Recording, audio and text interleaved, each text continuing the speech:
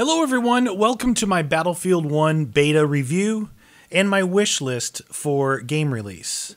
So, I want to start off by saying that I had a ton of fun playing this game, or this beta, both on PC and on PlayStation 4. I've ranked up probably to level 30 on PlayStation 4 and somewhere in the teens on PC.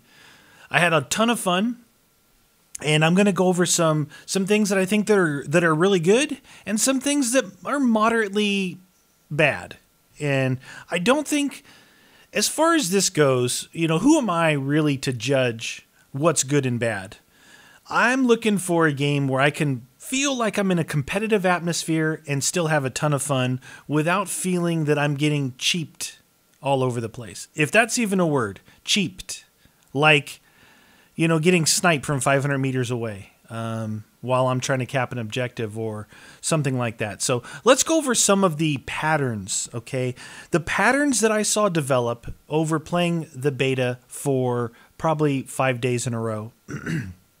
when you see patterns develop, it kind of shows you and tells you what things are are possibly either unbalanced um, I dare say use the word overpowered. I, I think it's more of a balance issue with a lot of these issues. Okay, so the patterns I saw develop were snipers and tanks.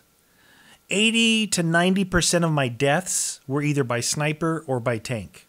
Okay, so I think that the tanks on this particular map, it's hard to judge. It's definitely it's impossible to judge the the entire game based off of the largest map that's going to be on in this game, because obviously tanks and snipers will rule larger maps.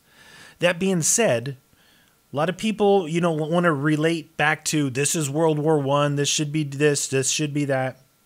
Well, we need more cover. We need more trenches. Tanks were not reliable they were motor driven vehicles back in the early 1900s. These were not reliable. So to have these things hauling butt around with canister shells that are, you know, blowing people away from pretty good range, I think that that's something that they need to look at. And I've already seen some tweets from Dice saying that the small single person tank is going to be changed, nerfed, whatever you want to say. Probably going to do something with the canister shell, which I think would be a big benefit. Balance the tanks down a little bit, or give more than one class a viable strategy to take out tanks. Now, a lot of tank drivers that were doing these epic 40 and 0, 50 0 games are saying they're not overpowered. All you need to do is work as a team and go after them. Well, yeah, I went after them and I died three, four times just to take the tank down to 50% health, and it still just drove away. And then both guns and I went after a tank, and it took everything that we had in both of our inventories, died, and respawned to take it out. So we either need to improve the anti tank weapons or do something about the tanks. Now, as far as snipers go, the way I see snipers is almost every class except for the sniper class, the weapons are challenging to use, whether it be bullet deviation, whether it be the range, the sweet spot range of that weapon. The assault class is short range, it destroys at short range. The medic class is not so good at short range and it's not so good at long range, it's a medium range class. I didn't play a lot of support. I I'm not a big fan of of a weapon that gets more accurate the more you hold the trigger down for bullet deviation all that. So I'm not sure what to even think. I didn't play it. I'm not going to comment or judge on that.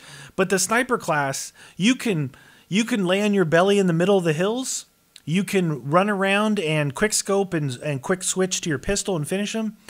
The, the sniper class is just too easy to use in comparison to the challenges that both medic and assault have. The medic is could basically be taken out of the game at this point. It's it's such a a strange weapon. Now there may be a lot better weapons under full release, so what I'm going to do is I'm going to put that under my wish list.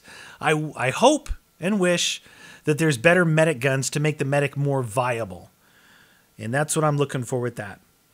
As far as the other things that I, I think need a little bit of balancing are the horses. The horse hitboxes I find are for, I think, giving them too much armor, first of all, because the horse can just run over you even after you take him out and the sword the gun it's it's just a little bit crazy now maybe the horses won't appear in every map so that might not even be a concern because i can tell you just like battlefield 4 the beta map on Siege of Shanghai, I ended up really despising that map. One, because I played it way too much for the beta, and two, it was just a large map that you needed to use vehicles to get around on and I just that's just not my thing. That might be your thing, which is fine. It's okay that we have something different that we like, but that's not my thing. So I'll probably end up hating this map and loving a bunch of other maps, which is fine by me. So I think the horses need they need to look at them. Whatever they need to do, either take away a little bit of their armor, or d- reduce their hitbox to where they can't just run by you 10 meters away and you're dead. Whether they run you over, they hit you with a sword, or they shoot you with that ridiculously accurate hip fired gun. The probably the last big complaint I have is my favorite game mode Rush. I think we need to address the vehicle situation in Rush. There's just way too many vehicles in there with with a limit of 24 players. I like the idea of limiting Rush, but it it just it's too dead. It's not enough action other than people in tanks and snipers.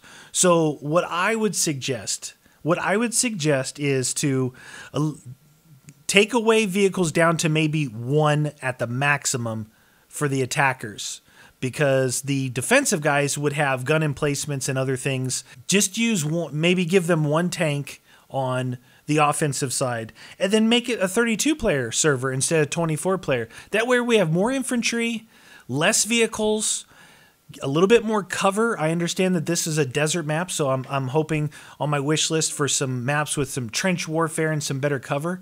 And I think that Rush might just see a big resurgence of players, and people might really, really enjoy Rush again. With that type of gameplay, you can overlook a bit of the map design where they may just be throwing stations on a conquest and picking a route that way rather than building a map specifically for Rush. I think we may see a resurgence because I was having a lot of fun playing Rush. It was really good you know that kind of sums it up you know? I really i just saw some patterns develop and i think it needs a, a, bit of balancing.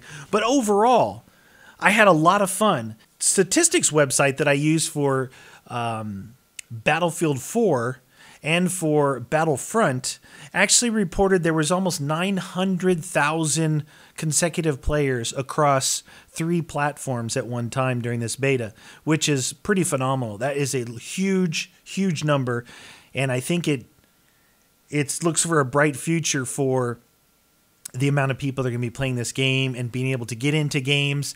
All right, guys. That being said, that kind of covers it. I know. I know. You know, it's. It seems like there was a lot of a lot of talk about balancing, but that's what this beta is used for. You betas are designed to kind of get the bugs out, get the kinks out, get real players in there playing, and see what develops. And the patterns that developed were very simple to see snipers and tanks.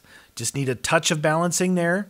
We need to get we need to see what the other maps are that they have designed. Trench warfare, we're looking for a lot of that, and I think we're going to have a blast. I think we're all going to have a blast. Really looking forward to playing Battlefield 1 Road to Commander for you guys. Thanks for watching everybody.